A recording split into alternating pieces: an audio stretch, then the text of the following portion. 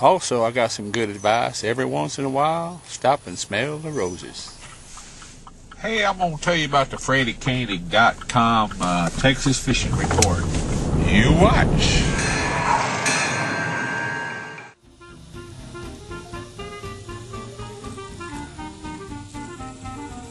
Ah, yeah. If you were a fish and uh, you wanted to swim, you most likely would swim in the water because that's the easiest place, I, I think.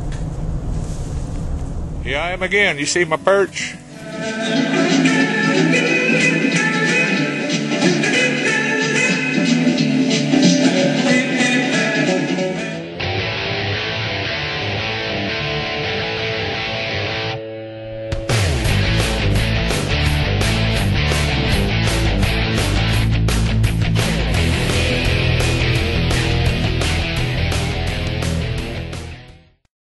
Now, if that doesn't light your fire, your wood is wet.